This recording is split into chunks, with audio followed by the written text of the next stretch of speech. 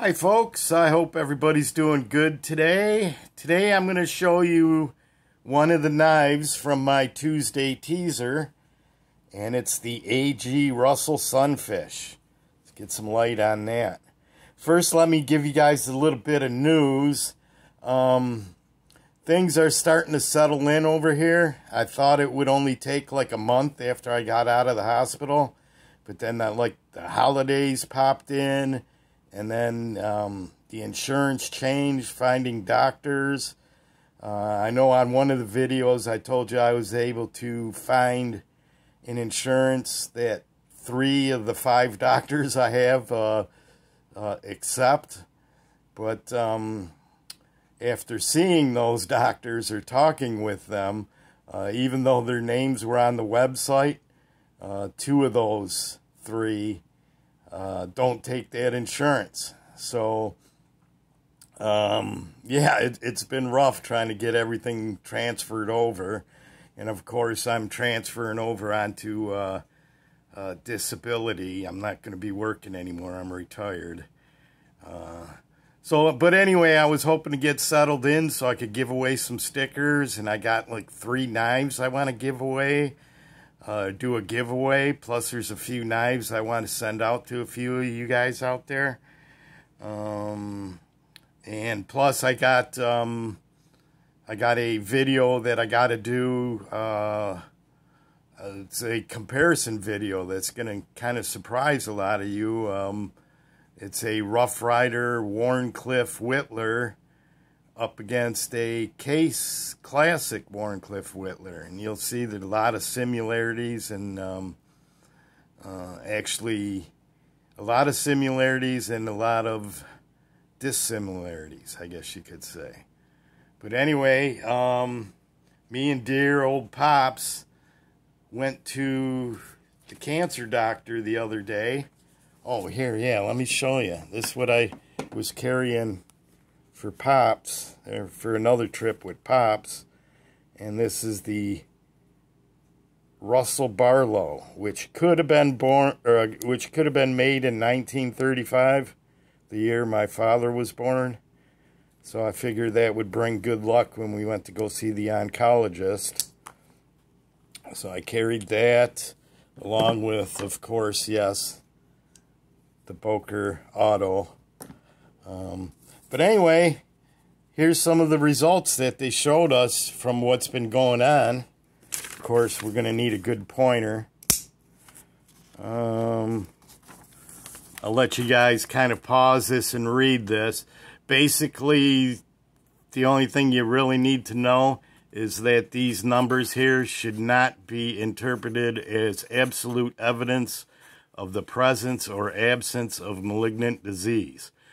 But you'll see back here when we found the tumor, um, back in August, it was at 10 cm. Have no idea what the measurement cm is.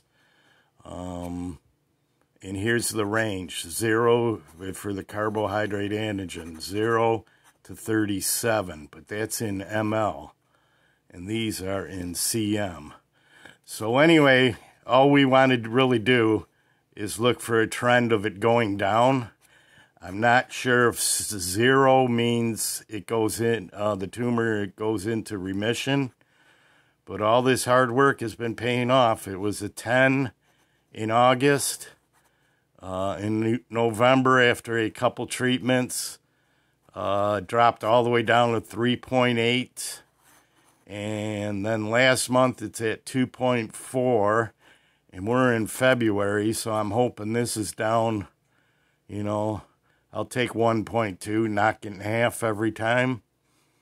So, um, but anyway, I just wanted to show you guys that, that progress is being made, even though I'm feeling very uh, behind on my channel. There's, I got a lot of knives I want to show. Um, I know the, the YouTube creators out there, I haven't been able to watch a lot of your guys' stuff. Um, I have seen there's been plenty of plenty of nice knives out there. So I don't know if I'll ever be able to catch up. But um, yeah, I don't know. Things are going good. That's all I can say. I wish I could do more videos. I wish I could get a bunch of stickers out right away. And I wish I could do a bunch of giveaways and uh, pass out some knives. But it's all going to come in due time. So be patient. Let's take a look at this um, this sweet knife. Like I said, this was one I was laying in the hospital and Gizmo, our good friend and subscriber Gizmo Carr, uh, sent me a link to the uh, A.G. Russell uh, website. And that's only be, um, the bone, the jig bone, colored bone, uh, sold out first, I think. And what happened was they had a bunch of them that were second, factory seconds. And that's what this one is. Um, the, those are all gone. If you go to the website now, you can find one, I think, in G10. Uh, the smooth white bone is gone. Of course, Gizmo, he's got uh, three of them now, I think. I think he's got this one, the smooth white bone, and the G10 version. So maybe those are the only three that were ever made. But um, this is a factory second, so it has a few issues um, in the bone, and we'll take a look at that.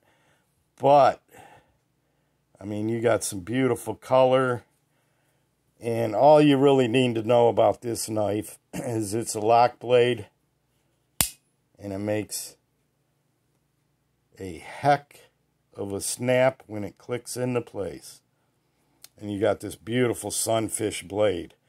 Now, the, the, this um, lock lever here is has been milled out so there's no pin. This pin right here it's actually um, integral um, where it's part of the lock lever. I don't know if you guys can see that. Let's move the light in. Integral I think I said it wrong the first time oh man but let's see if we can see in there See there, there's a space between the two heads of the pin.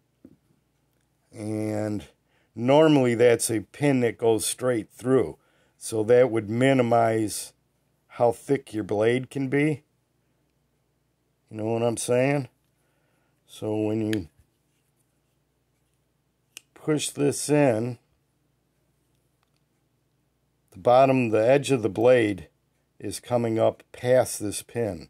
They're using every centimeter they can to fit this big blade in the handle.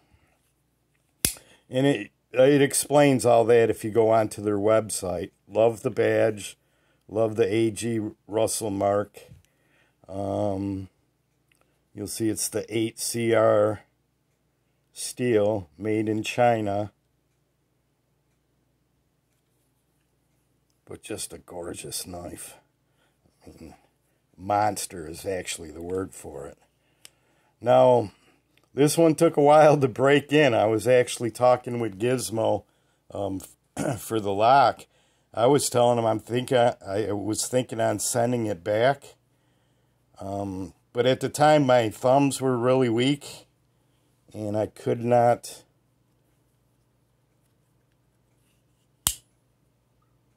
could not depress it far enough to release the lock. That's how tight it is. But you'll see I got there finally. So there's no issue there. The one issue I do have with it is they were charging, I think, $95 for the G10 version. It was over 100 for the bone versions. But um, the factory second was right up at 85. And I didn't expect them to send me one. You'll see this has a crack here.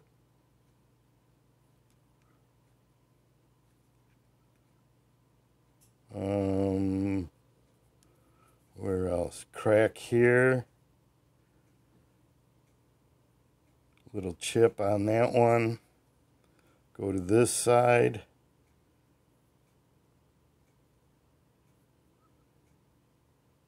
Oh, there you go. Crack up here. And a crack up there. These are almost cracked all the way to the end. So you got a pin crack here, pin crack here, pin crack here, and pin crack here. So this is one I definitely don't want to drop. But at this size, let's move it up here. It's hard hard to drop. I mean, it fits right in the hand perfectly. Of course, it's got the big hole for the lanyard, which I probably am going to do my first paracord lanyard. I don't know, you guys tell me what you think. I usually do them in leather, because I got plenty of leather straps. But, I don't know, I might do this one in a paracord. Look at that big sunfish blade. it's a monster. That's almost as big as, uh, let's see. It's actually wider. Wider than um, Big John Henry.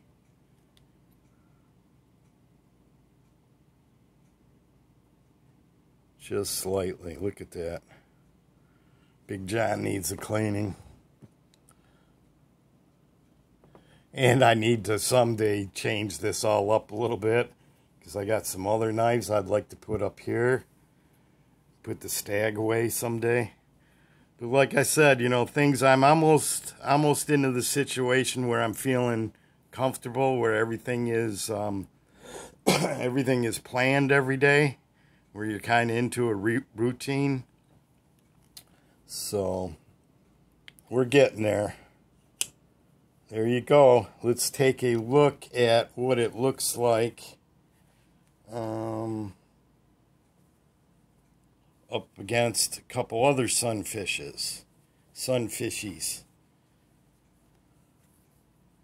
Put him right in the middle. And of course, I don't have a lot of the patterns, but I do have a couple cool ones to compare it with. And this is the Rough Rider version. And a nice blue bone. And the marbles. Which actually, I mean, the bone on this knife here, the color on here, is unmatched with anything I have, I think. And these are both slip joints. The Russell is a lock blade. I do have this little A.G. Russell lock blade Barlow, which is pretty cool. I picked this up on eBay. It's used. I've used it quite a bit. It locks in nice and tight. See A.G. Russell. Same steel. Same China mark. And it's held up pretty good. You see there's no chipping going on there bolster's all scratched up. Nice little locking Barlow. So we'll put that up there too, just to give you an idea.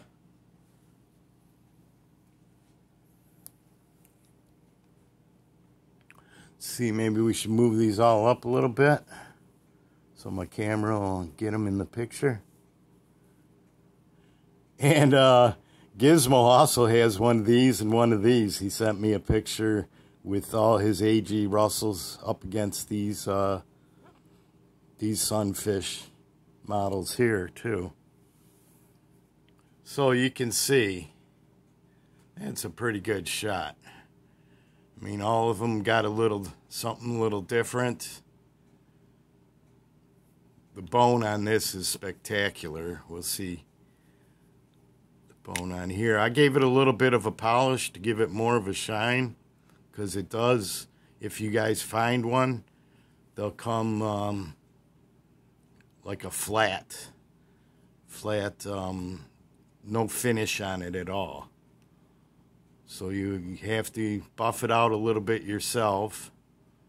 Um, I think Gizmo went so far as to clean out each individual jig which would probably help giving it even more of a shine. But there you have it. Until next time, my friends, take care. Peace. Bye bye.